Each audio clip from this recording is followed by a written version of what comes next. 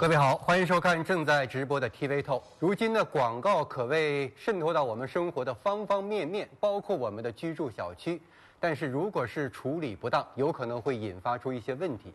比方说，前几天在广西的南宁一个小区，一位业主认为小区电梯当中的这个广告过于裸露，对小学生、小孩子呢身心健康影响不好，于是呢将它扯了下来，于是和物业起了纠纷。那么这个事情呢，使得我们开始思考，小区的电梯当中是不是应该限制广告呢？而且这件事情究竟又应该怎样解读？我们今天呢就讨论一下。啊，在我们直播当中，您可以随时通过我们的互动平台发送自己的一些看法，有机会获得门窗幕墙五金专家金刚狼公司提供的奖品。我们首先还是先来了解一下发生在广西南宁小区当中的这件事儿。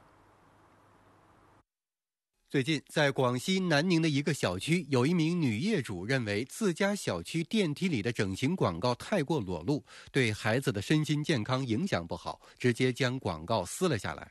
而物业则选择报警，说这是经过审批的正规广告，并签有合同，不能说撕就撕，否则广告公司会找上门，物业也很难办。对此，不少业主发表了看法。反对方主张，不管是印刷品还是视频，内容过于露骨，既会让成年人感到尴尬，也会给小孩子带来不良影响，甚至会降低小区的形象与品位，要禁止。同一方认为，广告只要经过审批，符合相关的法律法规，在电梯里进行发布也没有什么，不宜求全责备。还有一种观点认为，类似的广告内容通过街头电视、户外大屏幕和手机传播，一样会很容易地出现在大人小孩的眼前，不能只把板子打在电梯广告上。这个就是发生在广西南宁一个小区当中的一件事儿。啊，现在呢是这个业主和物业各执一词，而且似乎都有道理。然后围绕这件事儿呢，各种说法也很多。如果让你选择站队的话，你怎么选？如果让我选择站队，我是一刀切。为什么？我认为就小区对，就小区而言，小区的电梯里面是属于业主们的居家环境的一个组成部分。嗯，那么居家环境大家要讲究卫生，讲究宁静，讲究优雅，这是一个非常必然的一个心理需需求。大家大家不妨想想看，我每天上班上班回来以后很累了。回到家里面的时候，坐电梯如果是很嘈杂、很杂乱的一种环境当中，心情就很不愉快。每天要出行的时候呢，如果还是这个电梯里面播广告，弄得呢自己心情也很不轻松。所以呢，就这个情况下呢，我认为首先是电梯里面不能够有布置任何的但是有很多广告也拍得非常精美，和艺术品一样。不管怎么说，你在这种适当的这个情况下呢，怎么样？很可能有一些人欣赏，但是呢，不是所有人都愿意接受这样一种东西。万一有一些很糟糕、很低俗、很很粗鲁的东西出现的话呢，那把这个小区里面的这个住户的人家心情都搞得很不好，那你不要影响了小区里面的品味，对不对？是有很多经济收益，你经济收益的话呢，我觉得不能够为了这个蝇头小利而影响到大家的一种生活的一种心境，算大账，要讲究我的生活品质，对，要讲究生活品质，要不然整个小区里面。都是乱七八糟的广告，看了也很不舒服。这个小区里面的品味也自然而然就降低了。方婷，你要是选怎么选？哎，我倒觉得说没有必要搞一刀切哈。实际上，像我们家这个电梯里的广告，最近有很多美食类的呀、健身类的，还有一些这个儿童辅导类的，也挺好。实际上说，第一，它这个制作还是比较精良；第二，甚至有的对我是比较有用的信息，特别是这种生活生活类的信息。而且这个电梯费的收入多少可以冲抵一些这个物业费的开支，对于我们来说可以说是，哎，在电梯在这个广告内容呃没有影响我们心情的情况。下我觉得是一个双赢的局面，然后物业管理公司也可以从中收取一些管理费，呃，大家可能都觉得说从这个地方大家都得到了好处，只是说这个。广告的内容它究竟雅还是不雅，俗还是不俗？我们的广告法可能没有规定到这么底线的内容。那我就觉得，像欧阳老师说，电梯是属于我们业主的财产，是我们业主设施，它好不好要由我们业主说了算。你们说了算。对，就说不管它是经过审查也好，或者某些部门给他审批也好，如果这个内容我们业主觉得不好，那对不起。如果是追问一句，比方说你们小区当中有七成的业主对一些所谓的特殊广告觉得无所谓。你们三成业主觉得说难以忍受，你这时候该怎么办？哎，我觉得少数服从多数是一个主要的吧。如果说这个广告大家都觉得没意见，只有我觉得有意见，或者我觉得对我的孩子有影响，我就搬家吧。我 或者是你只好走 啊。对对对。这个律师，这里面涉及到可能法律问题了吧？呃，我觉得这里面有可能既涉及法律问题，也涉及一个小区业主的权利的处置问题。嗯。呃，因为电梯是一个公共空间。啊，而且它往往是大家必经之路，而且在这个空间里面很狭小。换句话说，如果有这样一个设施，不管是播放视频还是播放这个。呃，音频这么显然的话，其他人是很难绝对去回避和拒绝的，逃无可逃。那么在这种情况下呢，一方面就是，首先这是大家共有的这样一个设空间和设施，应当是共同决定啊，共同管理，共同收益。那么在这个过程中啊，业主或者业主大会或者通过业主大会委托的业主委员会。呃，如呃，你必须有民事的授权啊，作为物业公司才可以进行委托进行一些广告的设置和播放。嗯，啊，这个是很明确的，而且这个是有关的收益要透明，而且主要是要用于公共的部分。嗯，那么另外一方面呢，就是我们讲法律上对某些广告的设置和投放，它有一个审查的要求。有一个审批的要求，但是这仅仅是一个前提。如果你在小区里面设置，我觉得他还要考虑这个，应该说小区的业主是多样化的。有些人觉得这个广告很好，有些人觉得说他可能差强人意，啊，有些人可能觉得难难以忍受。这个时候，一个是互相要尊重，啊，也就是说要有个底线思维，啊，不，呃，首先是互相尊重，因为都在生活在一个空间里面，应该说应该对一些敏感的内容，应该遵循这种少数服从多数既是既有一个少数服从多数的原则。但是对少数人的基本权利也不能受到侵害，比如说这是可能涉及到一些弱势群群体、残疾人、未成年人他们的这些幼稚儿童，他们每天要经过这个地方，他看到这些内容，可能对成年人没什么，但是对于未成年人，他可能就不符合社会保护和家庭保护的一些原则，有可能损害他的身心健康。如果是这种情况，也违反了广告就是哪怕是少数人，如果是孩子，确定说是受到了影响，不好的影响，一般来说，也应该被。对，住在小区还是要以最弱势、最敏感、最容易受到影响的人的这个基本权利的保障为一个底线，然后在这个情况下，多数人决定。嗯，而且这两年我们也知道，这个广告对我们生活的渗透是特别多的。呃，很多城市、很多小区都出现过类似的一些情况。我们继续来了解。二零一五年，家住哈尔滨的张女士就曾经反映，孩子有天对她平常不在意的小区电梯广告，一个卡通人物骑着摩托车，裆部架着机关枪的避孕套广告，忽然好奇的问：“是卖什么的？”广告虽然隐晦，但是家长都不知道怎么跟刚上小学的孩子解释。去年三月份，家住武汉的王女士表示，有一次她带着读小学的儿子坐电梯，正好看到一则性药品的广告。儿子特意指着上面的字幕说：“老师教的幸福是幸运的幸，不是性格的性。”这有错别字，让他十分尴尬，赶紧转移话题。去年年底，杭州一个小区的居民为家楼下电梯边上的显示屏播放避孕套广告，觉得一些比较暧昧的画面不雅，让孩子、老人看到了影响不太好，便把液晶屏砸了。呃，最后提到的这个。杭州这个家长显得是更暴烈，不单是说不合适，干脆把液晶屏都砸了。呃，方婷是不是过去在电梯里面带着自己的小孩子的时候，也遇到过比较类似的情况，就是比较尴尬？是转移话题。因为现在这个广告商为了抓眼球、搞噱头哈，很多广告词真的让你哭笑不得。我曾经带着我这个五岁的儿子在电梯里，他就问我说：“妈妈，为什么要？”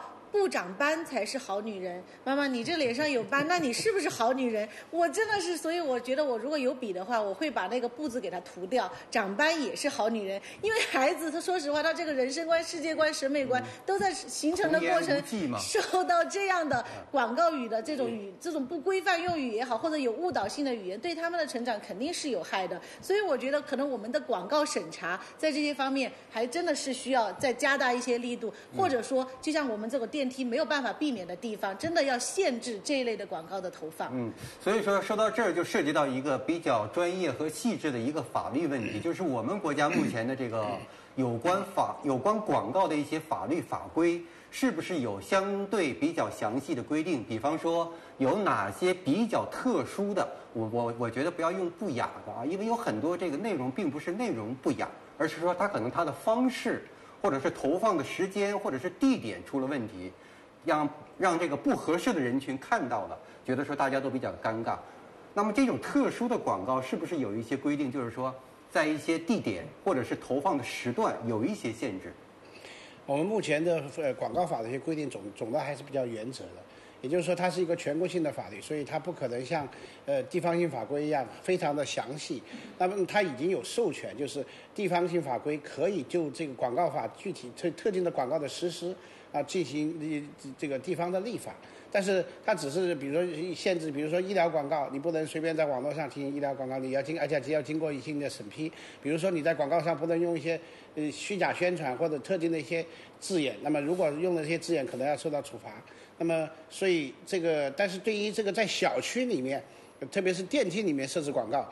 好像只有重庆市有一个地方性的，呃，应该说立法，严格来说它是一个规范性文件。嗯。啊，这个文件呢，对小区很多地方可能对在小区里面设个广告是这个户外广告是不是要管理，如何管理，可能还没有很详细的规定。那么重庆市在这方面开了一个先例，应该说是一个好的呃这个苗头。嗯，这是一个比较详尽的地方性法规。欧阳老师，呃，这个涂涂律师的这个解读是非常专业的。但是我个人有一个想法，就是说我们作为业主买房子。开发商给我们建成的房子是供我们居住的，我们不是为了买它房子里面以及附加的这种广告，所以这个有关增加进去的广告呢，实际上都是后期产生的东西。类似于这种后期产生东西，其实怎么样？应该说是对绝大多数业主都是一种影响，甚至一种可能把一个关系搞反了。这些东西的决定权都在你们那儿，就是业主没错，所以说在这个时候呢，我们从开发商那边买房子过来。不应该深深的把一个广一广告给它引进去，这本来就不是我们这个小区里面应有的那你们业主就应该行使业主的权利。所以说，没错。所以刚才，所以刚才这个这个，刚才这个方方婷他所讲的，就是说，呃，允许一些比较好的一些广告。但是我想，我设想一点，就是说，我们如果愿意放开的话。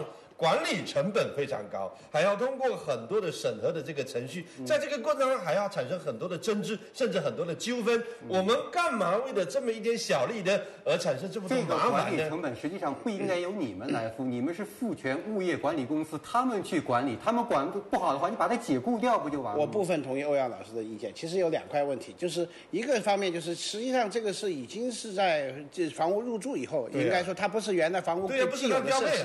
换句话说是在经营。我们的不动产。那这个经营不动产，而且是公共部位，这个公共部位的经营必须要由业主、业主大会经过程序授权，而且是民事的表示，而不是现在很多是，呃，物业公司没有经过同意就擅自就做了，回头来说你不反对，你没有决做出决议反对，那我就是成立，这是不对的，这不是漠视可以同意的，必须经过民事的授权，否则就是一个侵权行为。所以说我们经常说的一句话就是，我们应该当家做主，当家做主在这个小区管理当中体现的最直接。而且确实有很多实际问题，就应该当家做主。你应该意识到，这个小区是你自己的地盘儿。你如果不坚持一些原则，不捍卫自己权益的话，然后被物业公司耍得团团转，只能说我们现在当家做主的意识还不是很强啊。我们来看一下这个互动平台上一些观众的看法。一位说，小区电梯内的广告很多，往往物业或者是业委会并不会对广告内容进行审核，结果就造成了很多乱象。这个实际上不是他们审核的，是相关的广告主管部门进行审核的，而且这一块呢，目前也并无相关的法律法规的制约或者是管理细则。还一位说，这是业主的公共场所，不应该成为物业公司揽金的地方，严格规范物业公司的管理，什么要做，什么也不该做，不能让物业公司光拿钱不做事儿。还一位说可以，但是内容呢要业委会把关。还一位说，小区电梯还是要限制张贴广告，广告费物业收了，我们业主的物业费又没少交啊。这里面实际上说出了很多很现实的问题，就是很多业主好像觉得说，我想卖广告，但是我没有得到实际的收益，而且我们还担了一个污名，觉得说我们小区乱七八糟的广告都在说都在放，好像我们整个的格调不高。于是这里面提到一个问题，就涉及到有一些广告啊。可能是它本身的内容是可以播的，但是它在制作当中遣词造句或者是方式显得不是那么得体，显得比较低俗。那这个低俗是不是也有一些相关的法律规定？这个方婷你了解吗？哎，我只是知道说，比如说广告法里面，它对这个内容的规定，就是说你的真实性、合法性，你你提供的商品或者出售的服务这些东西，它做一个规定。但是对于低俗这个东西，我觉得真的有人说雅俗共赏，可能不太好界定，不是一个好界定的东西。那么也就是说，在小区内部，只能说在小区内部，我们业主是有充分的这个自治的权利。那么就希望我们的业主能够选出真正能够代表业主意愿的人来成立这个业委会，然后对这个如果引进的广告，对它的内内容进行审核，我觉得这才是一个最可靠、最有效的一个审核管管理的方式。不然，我们如果去想说，希望广告法能够把它细化，或者希望有关部门能够把它审查好，可能都不如我们自己管理自己的地盘来的最直接、最有效。比方说，如果是广告法做一个大致的一个原则性的划分，比方说涉及到这个啊整形的、美容丰胸的，或者是什么性的、男科的这样的一类广告，不能够进入居民小区的范畴。这不是一下子就免除了很多不必要的麻烦。那现在的广告法对于比如说大众媒介不能做这些广告啊，不能对未成年人做这些广告，它是有一定的要求的啊。但是对这个在小区里面电梯里的广告，可能没有细化到这个程度。呃，重庆的这个法规里面有限制。就是我们说广告法本身没有。那么另外一块呢，就是呃，还有这个规定的话，我们其实可以参照，因为像。这种经营大部分还是商业性经营，它不管是它是获得商业，它不是公益性的。嗯。因为这种商业性的运作在小区里面，实际上现在一般对住宅小区商业性的一些经营是有限制的。那么能不能也扩展到包括在其？小区的电梯里面做这样一些商业性的广告，那么对它的投放的位置做一种禁止性的规定，其实各个地方地方立法是有这个权利进行立法的，进行调研的。就是通过地方立法来解决或者是来弥补广告法可能规定的不是很详细的一些地方。您刚才说的这个，比如说低俗的问题，低俗可能当然雅俗共赏有一个问题，另外低俗可能见仁见智，但是我们的法律还是有规定，就是首先它是不能违反社会主义的道德风尚，还要是与我们的精神文明的核心价值观相同。但是怎么去判把控？可能还是比如说我们的广告审查部门、市场监督部门，它实际上它在审核的时候，它会有有有所把关。那如果 最后有这样的广告侵害了未成年人的这么多的麻烦，可以提出诉讼。这个欧阳老师，你觉得很麻烦？所以我是这样子认为，就是说干脆画一条线，一是不能做这个广告，你就干脆一刀切掉。如果是从小区居民这个业主的真正需要的话呢，我倒是觉得说有一些公益广告可以用上，比如说。哎，万一这个电梯发生危险的时候，怎么样自救？或者说，比如说发生火灾或者发生什么灾难的时候，怎么样采取一些救护措施？这个对大家的切身利益来说是最最大的、最最重要的。当然，如果是一刀完全切掉的话，确实是一了百了啊。但是有的人说，就是说现在的这个城市生活当中，我们不可能是生活在没有广告的这个世界当中，而且我们物业本身，如果是想要它很好的经营或者是增值的话。广告收入是一个非常大的一个收入，任何一个现代国家可能都不能拒绝。问题就是说，我们现在的社会管理或者是社会治理相关的制度设计管理的思路，是不是显得还是太粗糙、粗线条了一些？对很多问题，我们相关的法律制度的设计管理当中，可能是显得没有考虑的那么周详，结果留下很多的空档，给一些心思不是那么纯洁的一些商家。他们钻了一些空子，我们稍微休息一下。TV 透马上回来。小区电梯广告很脸红，孩子好奇提问，家长尴尬无语，怒撕砸屏，对不对？小区电梯出现不雅广告，雅不雅？谁来界定？难在哪儿？清理小区电梯广告污染，责任在谁？该谁把关？TV 透欢迎亮剑，小区电梯。该限制张贴广告吗？欢迎回到正在直播的 TV 透。我们今天说到的呢是广西南宁小区电梯当中的广告引发的一场纠纷，扯出的话题就是小区电梯当中这个广告究竟该不该有所限制？你有什么看法？可以通过互动的方式发送进来，有机会获得门窗幕墙五金专家金刚狼公司提供的奖品。刚才我们多次谈到，就是根据我们国家的这个广告法呢，啊，南宁小区的这个广告是经过审核的正规广告，但是为什么还是产生了很大纠纷呢？显然这里面存在的可能标准不是那么清晰和详细，然后各方的判断的标准也存在不同的一种啊看法，或者是出现了偏差导致出现的。那么广告法对这类似的情形做了哪些具体规定呢？我们继续来了解。根据我国广告法规定，广告应当真实合法，以健康的形式表达广告内容，符合社会主义精神文明建设和弘扬中华民族优秀传统文化的要求。重庆市作为全国首例，还专门出台了关于加强居民小区户外广告管理的通知，其中规定，虚假低俗广告一律不准进入小区，在小区电梯等地方设置广告时，必须由物业、业委会等向所在。在地的街道上报方案，并将广告内容交由工商部门审批，审批合格才能发布。对此，南国法源公益律师刘峰明表示，小区电梯作为公共区域，属于全体业主共有，小区的电梯广告主要由物业或业委会管理。虽然对于电梯广告的画面没有明确的标准及特别的要求，但是发布者最好要考虑到业主的感受。如果多数业主对某一则电梯广告有意见，可以通过正常途径进行处理，比如向有关部门进行投诉，要求撤掉或者更换画面。啊，这里面提到重庆出了一个地方性的法规，更详细，可能操作性也更强。这个我们是不是可以借鉴？可以借鉴，当然是是可以。因为什么？如果我们在这地方有需要的话呢，那么人家有成熟的做法，当然是可以可以借鉴。但是我一直有这么一个想法，就是说我联想到一个什么？联想到一个破窗效应。小区里面要维护它的一种安静整洁，一定要从源头、从细节上抓起。假如说你在这个某一些方面稍微有点放松的话呢，那么后面可能就会一拥而入，会产生很多新的麻烦来。所以这个小区里面的这个电梯做广告也可能是这个样子。开头的时候，我们这个电梯里面干干净净、清清爽爽，大家进进进出的时候是完全就是在一种很宁静、的愉悦的状况状况下，这个。出出路的，对不对？可是有的电视广告，又有这个贴纸广告，然然后呢？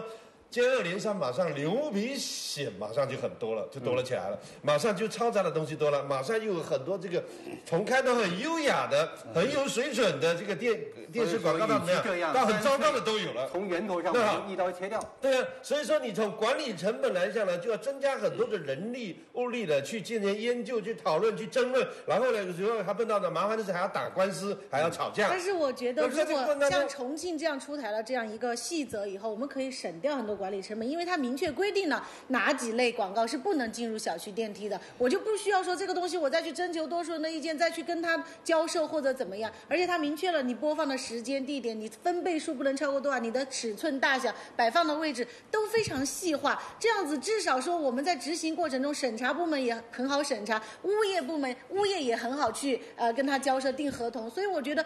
这不是一个管不下来的东西，只要有一个细则，实际上是可以呃节省很多的这个管理成本。其实我觉得重庆的做法挺好，也它既没有一刀切，但是大幅度的提高了在。比如说电梯做广告的这个，一个是它的成本，还有它的难度啊。我们说，呃，多数人决定，你也可以百分之七十五或者呃百分之九十五的人决定。换句话说，提高了难度以后，做广告的人，他在这个里面，他要考虑是不是需要做。你做的时候，它的这个内容的规范性，这样呢会大大的保护了我们的是弱势的，比如说未成年的群体，同时呢又还保持一定的灵活性。所以我觉得关键是要有方法、有措施，这种规范性文件。而且要达到双赢。通过南宁小区的这件事儿，有人。说这也是反映出，就是通过这样一个社会现象，在考验我们广大业主的民主素养。你的素质究竟如何？你有权利，但是该究竟该怎么维权？该怎么捍卫自己的权利？你比如说把这个广告就一把撕下来，恐怕这个是我们所说的过去那个词叫做暴力维权。如果说砸的这个东西的话，叫毁坏公司财物，也同样是违法行为。合适的方式，还是应该通过一种比较法治的方式去维护自己的权益。